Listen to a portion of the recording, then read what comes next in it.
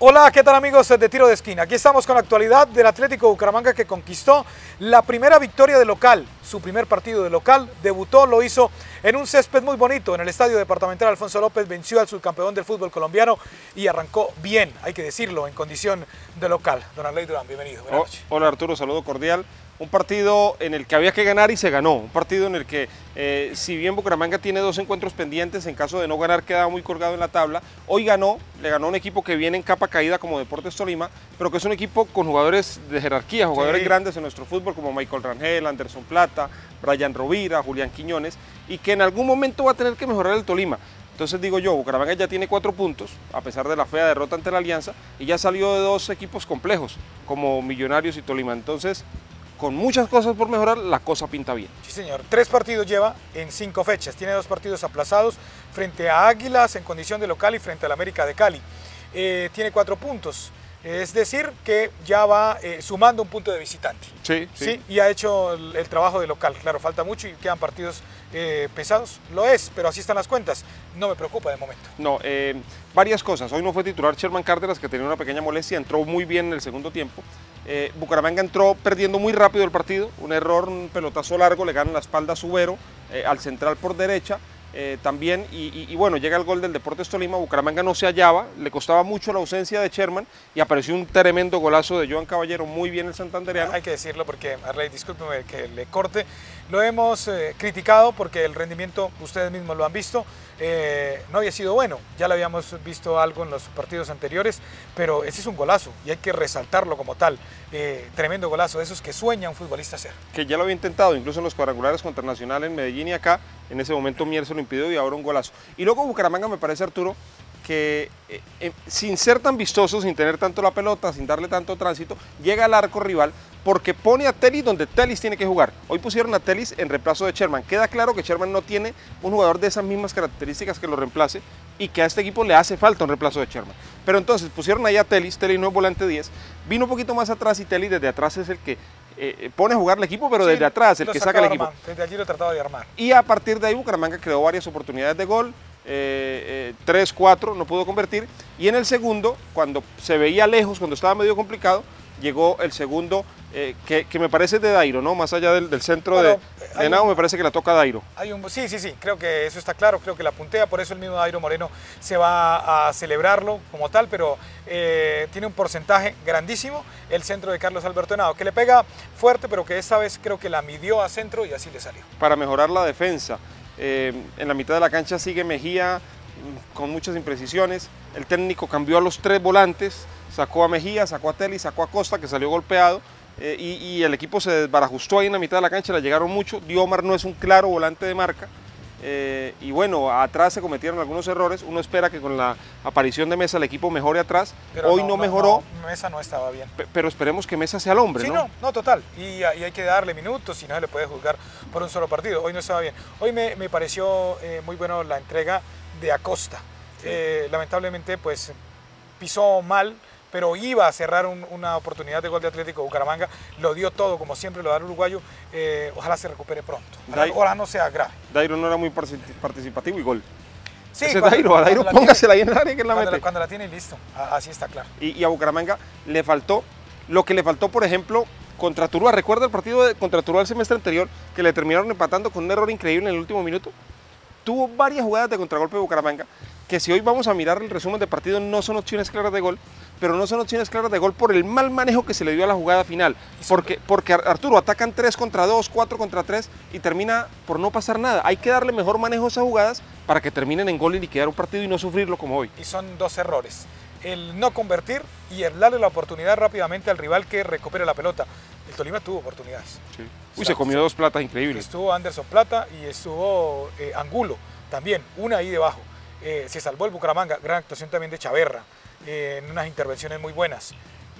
En el, gol tiene, en el gol Había que ganar y lo hizo. En el gol de Tolima tiene culpabilidad Chaverra, más allá que el error que sea claro de Subero, pero tiene algo, ¿podía ser más Chaverra? No, yo no creo. Yo no creo. ¿Se vio que lento como cayó? Sí. Mm, pero luego tuvo tres, cuatro tajadas muy ah, buenas. No, no, no, hoy no se le puede criticar. Había que ganar y ganó Atlético Bucaramanga. Piripio. Bueno, muy contento por el grupo. La verdad lo habíamos analizado el partido bien. Iba a ser muy duro, muy duro. La verdad hay que felicitar, competimos en muy buen nivel con el subcampeón. Nos metimos en la cabeza que había que ganarle al subcampeón y la verdad lo comparto la alegría que tiene el equipo en el camerino porque ganar empezando ya de locales eso nos da mucha seguridad. Bienvenidos a su programa Aniver TV. Si usted está en casa con su viejo televisor, mejor venga al Centro Comercial Cañaveral y disfrute nuestro aniversario 38. Registre sus facturas y participe por uno de los televisores de última tecnología de 65 y 85 pulgadas. Autorizado por la Sociedad de Capital Público Departamental.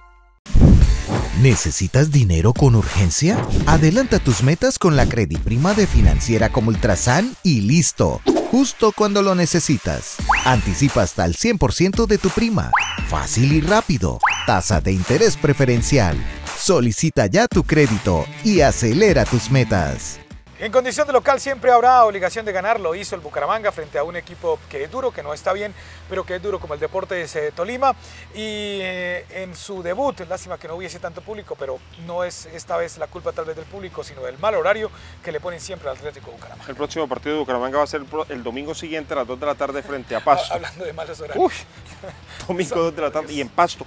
Ojo Arturo, o sea, jugar en el calor de, Barranca, en el calor de Montería es complicadísimo a las 2 de la tarde. Pero no, porque es que además es la altura y el sol. altura y sol, una combinación letal para jugar al fútbol. Bueno, usted se narró con el alma el golazo de Joan Caballero, un golazo, un golazo de Joan Caballero. Escuchémoslo. A través de Joan Caballero, el santandereano que trata de hacer una pinta, sacó un hombre en el camino, quiere pegar, pega el barco.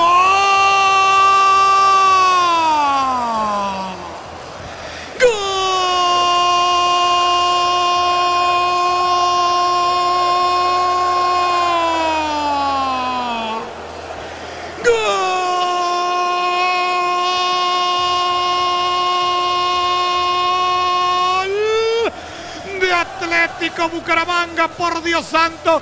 Johan Caballero, violento remate, sacó un misil de su pierna derecha, no había nada. Había dejado en el camino a dos hombres del Deportes Tolima.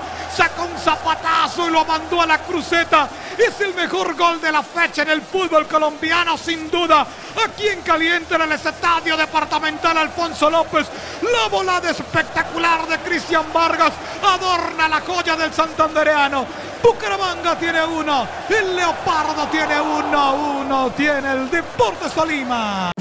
Bienvenidos a su programa Aniver TV. Si usted está en casa con su viejo televisor, mejor venga al Centro Comercial Cañaveral y disfrute nuestro aniversario 38. Registre sus facturas y participe por uno de los televisores de última tecnología de 65 y 85 pulgadas. Autorizado por la Sociedad de Capital Público Departamental. Uniciencia te acerca a tus metas. Estudia desde 1.150.000 pesos. Horarios flexibles, calidad docente, planes de financiación, movilidad internacional y procesos de homologación. Matrículate ahora en el 317-667-0986 www.uniciencia.edu.co. Pues bien, gran victoria del Atlético Bucaramanga. Mucho por mejorar Claro, como siempre, mucho por mejorar. Deberá ahora ir a robar puntos de visitante, que es el objetivo para tratar de consolidar la clasificación.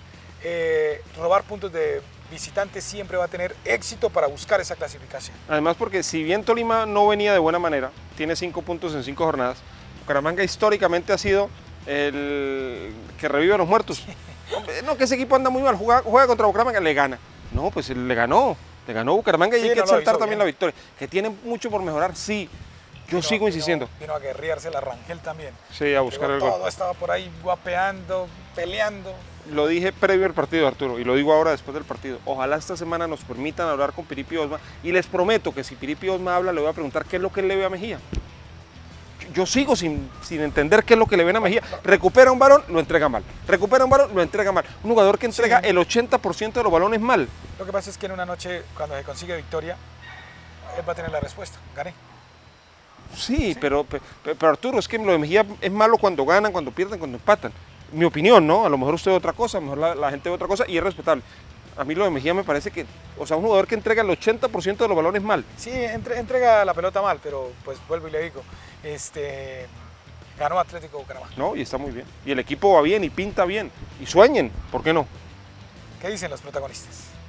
No, la verdad, contento, feliz por este resultado, por el equipo, por, porque se nos dieron las cosas. La verdad empezamos un poquito apretados con ese 1-0 tan temprano abajo, pero el equipo nunca bajó cabeza y supimos remontar eso.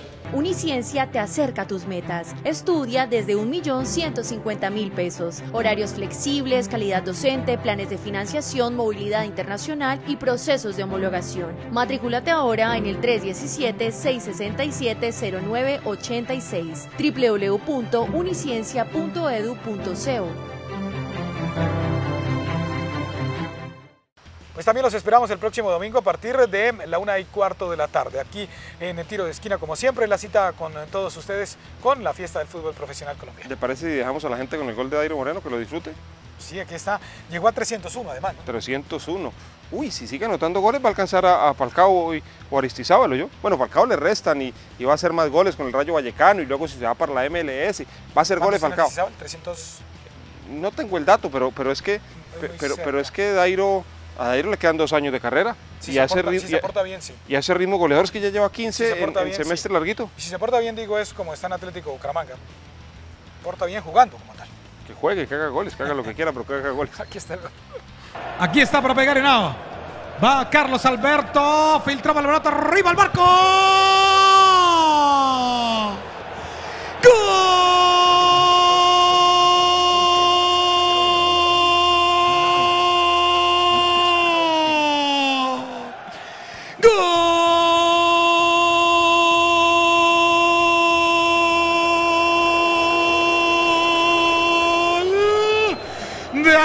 Bucaramanga, Carlos Alberto Henao levantó la pelota y ese estaba el acecho el goleador Dairo Moreno. Creo que entró esa pelota limpia sobre la portería de Cristian Vargas, el cancerbero del Deportes de Tolima. Noche de golazos en el estadio departamental Alfonso López.